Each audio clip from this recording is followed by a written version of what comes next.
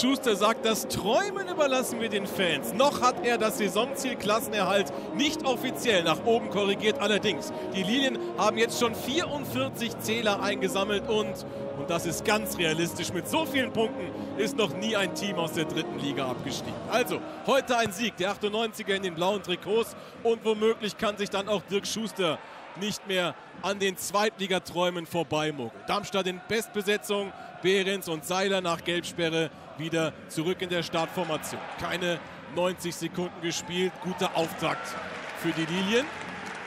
Einwurf durch Stegmeier. Der sieht plötzlich Seiler, der spielt den Ball in die Mitte, Strohengel, Tor! 1-0, Darmstadt. Sein 20. Saisontreffer. Dominik Strohengel. Keiner im Profifußball hat öfter getroffen als er. Kein Götze, kein Lewandowski, kein Mandzukic. Wahnsinn. Seiler natürlich völlig und viel zu frei hier. Und er spielt den Ball fast blind in die Mitte, weil er weiß, da ist er irgendwo. Der Strohengel, der steht da irgendwo. Und der trifft, wie er will. Das Ganze nochmal mit dem Blick auf den Torengel, wie sie ihn mittlerweile nennen. Er schüttelt Hornschuh ab und drin ist das Ding.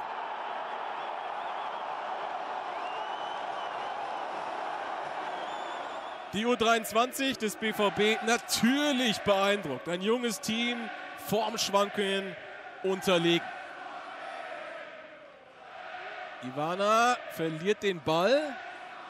Dann Jordanov, der marschiert gegen Behrens und der marschiert gegen Stegmeier und der marschiert ins Tor aus. Brotlose Kunst. Das ist David Wagner, Trainer der gestern, alter Bekannter im Böllenfalltor. Spielte hier von 2000 bis 2002. 57 Regionalligaspiele, 15 Tore. Sieben Minuten vorbei. Darmstadt natürlich mit breiter Brust, mit Rückenwind. Berzel Dann Strohengel und der Schuss von Behrens abgefälscht, aber kein Problem am Ende für Keeper Slatan Alomerovic.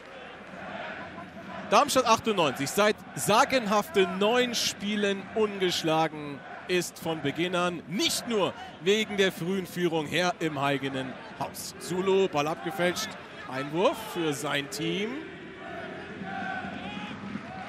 Dann Strohengel. Ball bei Behrens, der leitet sofort weiter auf Marcel Heller. Marcel Heller!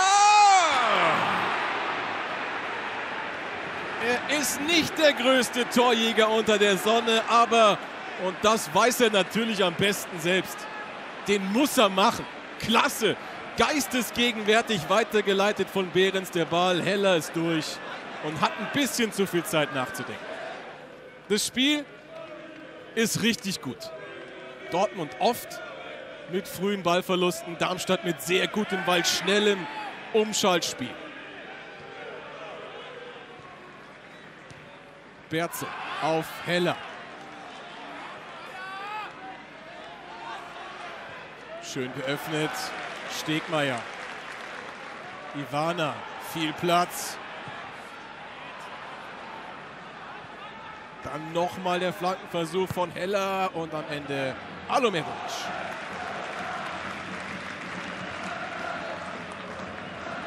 Zwölf Minuten vorbei, die Gäste immer noch nicht so richtig drin in der Partie. Das ist Duxch. Der wird gefault vom Lilien-Kapitän Aitaj Zulu. Freistoß BVB 2.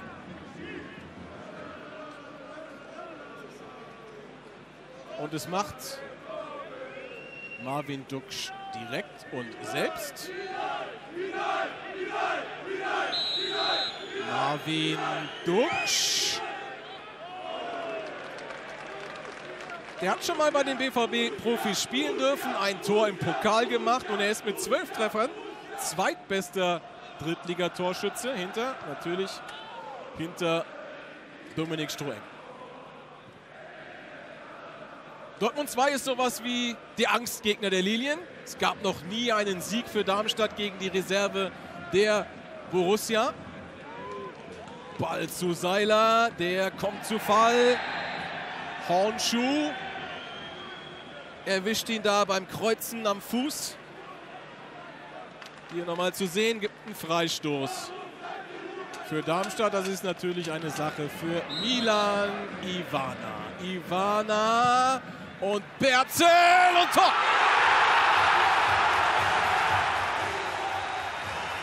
Zwei zu 0, 14. Minute. Und dieses Ding ist sowas von einstudiert.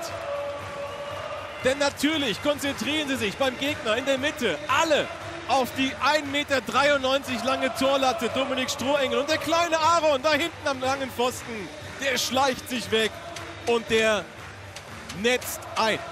Auch wenn Dominik Notagel, der Dortmunder, natürlich hier mangelhaftes Zweikampfverhalten an den Tag legt. Hinten jubelt Berzel, weil er eingenetzt hat. Zack. Und vorne Dirk Schuster. Und vielleicht träumt er jetzt schon ein bisschen mit den Fans. 2 zu 0 Darmstadt. Sehr komfortable Führung. Ivana. Der hier den Ball bekommt. Wieder ein leichter Zweikampfgewinn. Milan Ivana. Immer noch Ivana. Ivana. Die Gäste extrem sorglos im Zweikampf. Milan Ivana setzt sich gegen zwei durch und spielt dann noch zwei weitere. Und gut zu sehen jetzt gleich, der war richtig knapp. Halbe Stunde vorbei, erst eine halbe Stunde vorbei. Es ist ganz viel drin in diesem Spiel. Es ist vor allen Dingen richtig viel Darmstadt 98 drin. Seiler abgelegt auf Behrens. Der erschießt Torwart Alomerovic fast auf der Flucht. Weiter 2 zu 0. Klasse Schuss. Nur ein bisschen zu zentral gesetzt.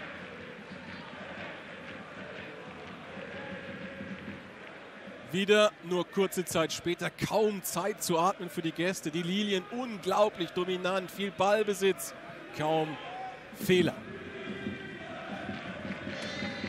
Stegmeier. Schön gesehen. Heller. Marcel Heller und Treude klärt zur Ecke vor Marco Seiler der viel ackert heute. Ecke getreten von Ivana. Sofort nachgesetzt, wieder über Heller und der findet Gorka! Benjamin Gorka, völlig frei. Solche Kopfballchancen hat der lange Innenverteidiger auch schon verwandelt. Es dauert knapp bis zur na, 35. Minute, bis die Dortmunder Reserve mal wieder was zeigen kann. Weil Darmstadt hier den Fehler macht im Aufbauspiel. Dann Treude, der marschiert. Treude und Zimmermann ist da. Tim Treude traf letzte Woche beim 2 zu 0 des BVB 2 gegen Duisburg. Der MSV heute ja der Gegner von Wien Wiesbaden. Die Bilder gibt es gleich. Und der MSV nächste Woche zu Gast hier am Böllenfalltor. 60 Sekunden später.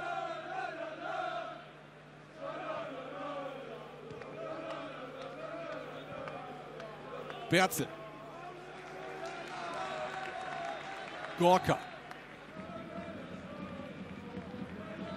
Und Strohingen. Alles trifft er dann doch nicht, der 20-Tore-Mann. Dortmunds Dominik Notnagel, unglückliches Spiel heute, köpft den Ball direkt auf den Fuß von Dodo. Es ist nicht viel zu sehen von BVB 2, auch weil Darmstadt fast nicht zulässt. Das wenige, das es zu sehen gibt von den Gelben, soll nicht unterschlagen werden. Jordanov, schöner Trick gegen Stegmeier. Der hält ihn fest, bekommt dafür auch die gelbe Karte. Klar, taktisches Foul. Freistoß für Dortmund 2. Edison Jordanov und dann kommt der Ball zu Hornschuh, aber bleibt beim 2 zu 0. Es ist Benjamin Gokka, der nach dem Freistoß von Jordanov fast unfreiwillig zum Vorlagengeber wird.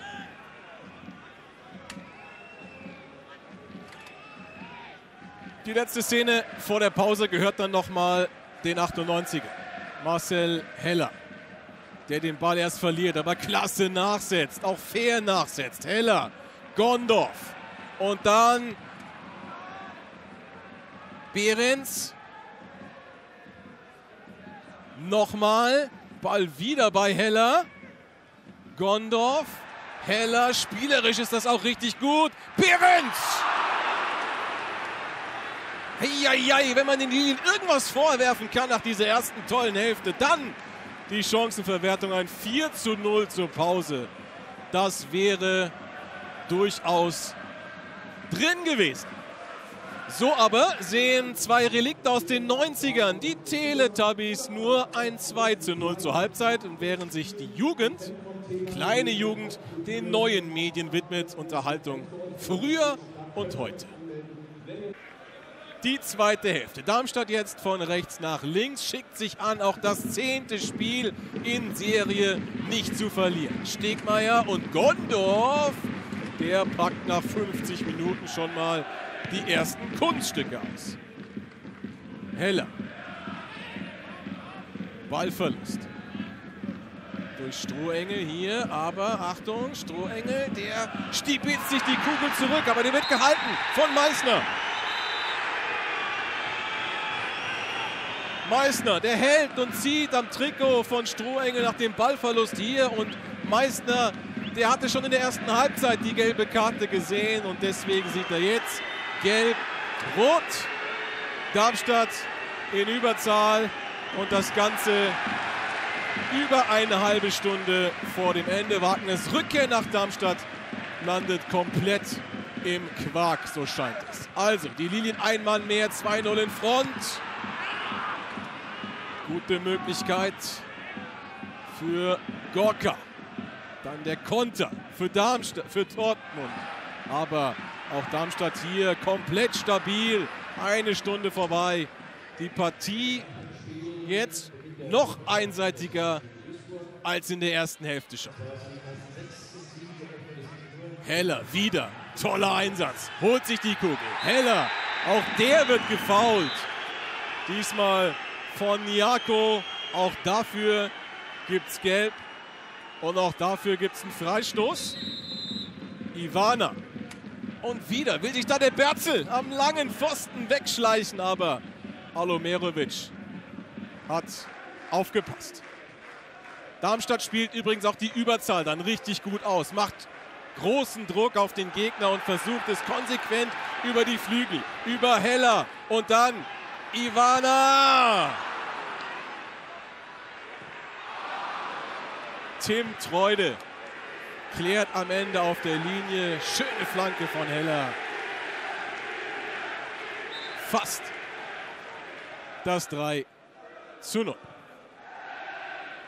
Um es mal mit den Zweitliga oder um mal die Zweitligaträume der Fans ein wenig zu befeuern. Die Lilien haben schon in der letzten Woche fristgerecht die Lizenzierungsunterlagen eingereicht für die dritte und die zweite Liga, wohl wissend, dass bei einem Aufstieg vor allem das altehrwürdige Böllenfalltor deutlich aufgehübscht werden müsste.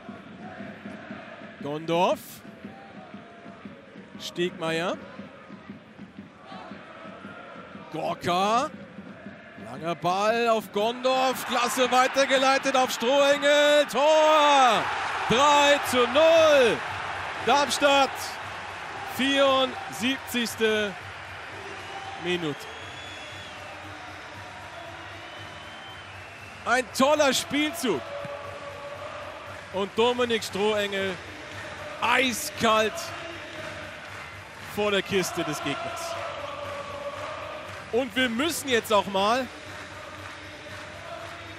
nach diesem Tor über den Torrekord der dritten Liga sprechen. Den hält noch, noch Regis Dorn mit 22 Treffern. Das hier ist Strohengels 21. Es ist nur eine Frage der Zeit.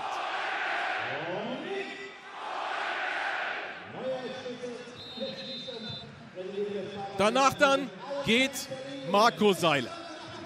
Und der wird richtig, richtig gefeiert von den 7100 Zuschauern und das richtig zurecht. Denn er zwar heute ohne Tor, aber sein Arbeiten, sein Ackern, sein Räume aufreißen ist so wichtig für die Tore seines Sturmpartners Dominik Strohengel. Für ihn kommt Benny Maas. Noch 10 Minuten, das Spiel ist natürlich entschieden. Die Frage ist nur, geht noch einer rein? Strohengel hat das Auge für Ivana. Platz natürlich jetzt für die Lilien. Ivana und der sieht heller. Volley! Schade.